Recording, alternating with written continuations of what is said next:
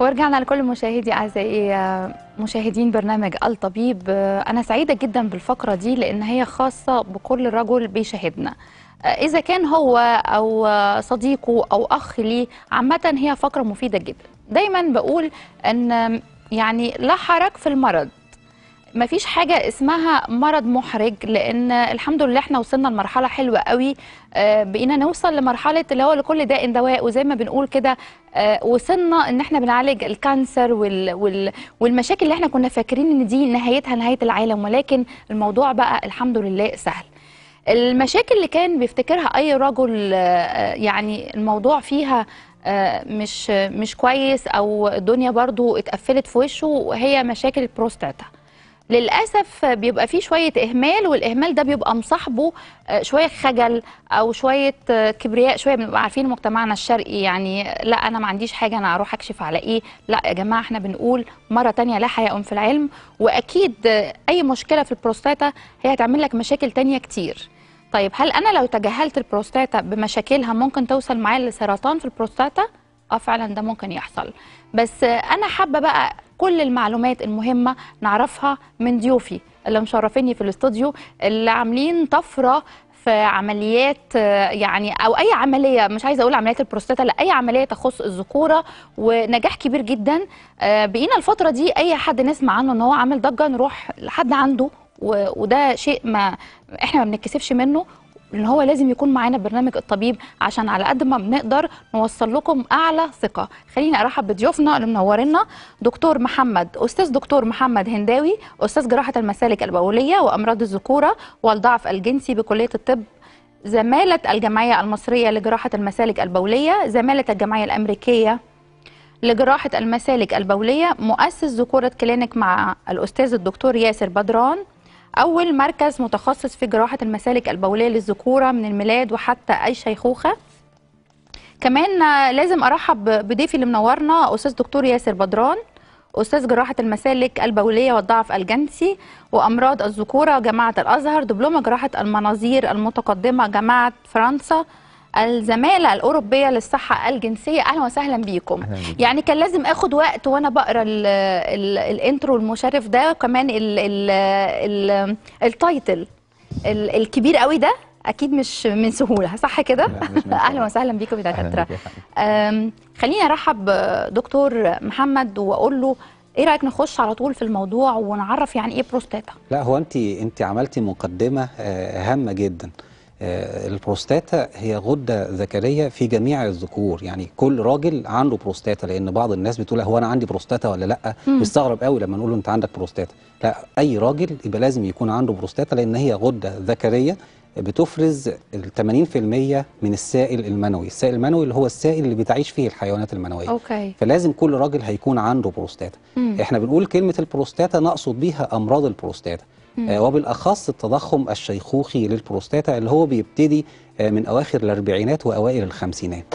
فأي راجل في بداية الخمسينات لازم هيكون عنده عرض أو أكتر من أعراض آه، البروستاتا. ودي ما هياش حاجة غريبة وما هياش حاجة عيب زي ما انت قلتي ودي حاجة مهمة جدا. يعني لازم كلنا نعترف كذكور إن ضريبة الذكورة إن إحنا يكون عندنا آه، بروستاتا البروستاتا غده هي موجودة. ذكريه موجودة في هي جميع موجودة الرجالة. يعني ما حدش يقول أصلا لا هي هي عنصر موجود أو هي بالظبط يعني جهاز موجود ولكن بالظبط. إحنا بنقول مشاكلها عشان ما حدش. يقول أنا ما عنديش آه. بروستاتا يبقى آه، ولازم صح كده لازم في. بداية الخمسينات هيكون عنده عرض أو أكتر من أعراض البروستاتا إحنا في مركز ذكوره كلينيك آه، مهمتنا إن إحنا نعالج هذه المشكلة أو البروستاتا لأنها بتسبب مشاكل في البول.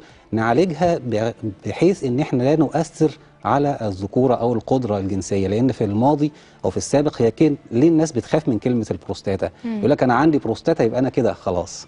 لا خلاص هو يقصد آه، من ناحية القدرة الجنسية. لا الموضوع لازم يتغير وإحنا ابتدينا نغير هذا الموروث الثقافي إن إحنا بنعالج البروستاتا سواء بالأدوية أو بالجراحات أو بالمناظير. بحيث إن إحنا آه، نحافظ على القدرة الجنسية. ويمكن دي رسالتنا أنا والدكتور ياسر بدران في ذكوره كلينيك هو هيبقى سؤال مهم جدا لدكتور ياسر بس خليني أخدت كلمة كده منك هسألها بقى لدكتور ياسر. آه، دكتور محمد بيقول إن من بعد سن الخمسين معنى كده إن مفيش قبل السن ده يعني لأي رجل أو أي شاب ممكن مشاكل تظهر في البروستاتا؟ لا طبعا آه، أكيد بعد سن ال 50 بيحصل تضخم شيخوخي في البروستاتا. okay. ولكن في سن الشباب بيحصل احتقان للبروستاتا. آه. لازم نفرق بين الاثنين. لو قلنا الأعراض بتاع تضخم البروستاتا ناس كتير بتجيلنا إن البول بالنسبة لها بيبقى تدفق البول ضعيف جدا اندفاع البول ضعيف. وبالتالي بيخش عدد مرات كتير لأن مخزون البول اللي في المثانه بيبقى كتير شوية. فتحس إن هو بيخش الحمام كتير يصحى من النوم بالليل آه، كذا مرة علشان يخش الحمام مم. عشان نفرق بين الصحيان بالليل آه، عشان دخول التواليت اللي عمل بول هو عنده بروستاتا ولا عنده سكر لا لو هو عنده بروستاتا بيخش حمام كتير بس بيجيب بيجيب كميات قليلة دي نقطة مهمة جدا. هو مش بس كده ده ساعات كمان بتوصل لإن هو يجي له احتباس في البول فنضطر نركب قسطرة. آه ساعات الموضوع كمان يتفاقم أكثر وأكثر إن هو مش بس كده يجي له احتباس مزمن في البول فطبعا يحصل ارتجاع للبول على الكليتين تضخم في الكليتين يحصل فشل كلوي. أو آه ارتفاع في وظائف الكلى. ارتجاع وارتشاح ولا ارتجاع فقط؟ لا ارتجاع وتضخم في الكليتين وارتفاع في وظائف الكلى وممكن يؤدي إلى فشل كلوي. فإحنا هنا بننبه آه، جميع الرجال اللي فوق سن ال 50 سنة لو عنده أعراض للبروستاتا تدفق البول ضعيف مم. البول بيقطع منك دخول حمام متكرر بتصحى من النوم بالليل عشان تخش الحمام الحاجات دي كلها بتبقى مزعجة جدا للرجل. مم. الكلام ده بي مش بس بيأثر على الراجل من الصحة المرضية لا كمان بيأثر كمان عليه من الصحة الجنسية. يعني أي حد عنده مشاكل بالمنظر ده مش هيقدر يقيم علاقة زوجية آه، حميمية بصورة طبيعية. فطبعا هتلاقيه موجود عنده مشاكل في البروستاتا وهتلاقيه موجود عنده ضعف انتصاب. هو ده الربط ال- ال- ال- اللي بين البروستاتا وضعف الانتصاب لأن في ناس كتير قوي بتربط البروستاتا بضعف الانتصاب. طيب خلينا آه، نوجه يعني سؤالنا لدكتور محمد ونقول له إيه رأيك تشرح لنا الصورة اللي على الشاشه آه لما بنبص على الشاشه إحنا شايفين آه، ال- الكورة اللي فوق دي دي المثانة. آه، okay الكورة اللي تحتها دي البروستاتا.